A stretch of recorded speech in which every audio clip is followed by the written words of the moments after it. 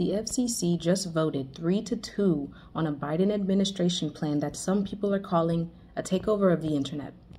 This plan will give the federal government complete control over the internet. Everyone, regardless of your political ideology, should be concerned about this because it happened under the radar. Biden in February quietly issued an executive order stating his administration's intention to regulate the internet based on the goals of promoting diversity and equity. It's called the Executive Order on Further Advancing Racial Equity and Support for under, Underserved Communities through the Federal Government. One phrase in particular from this executive order is really what has gotten a lot of people concerned.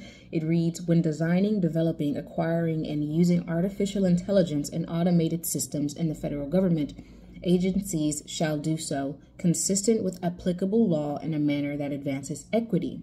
The issue here is the word equity. This is an anomalous term that can be defined to fit any bureaucratic action. That is the danger, that is the problem. Because this word is so subject to change, it is so malleable, it has no really one concrete definition, it can be used to fit any situation and extend to a government anything that they deem is inequity. This is a massive, overreaching power grab.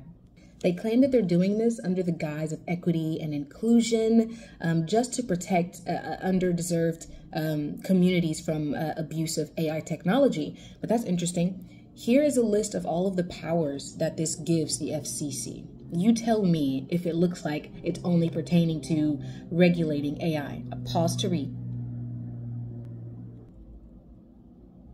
Make no mistake about it, this is absolutely a covert power grab by democratic socialists, people who want to install centralized power of different markets of society.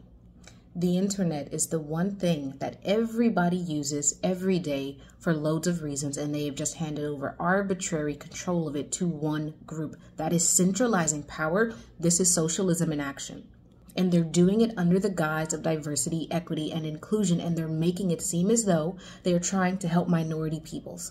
This is why I need minority Americans, especially those um, who claim that they are democratic and liberal, to be very, very careful of how you allow this party to race bait you um, and use your suffering to further their agenda.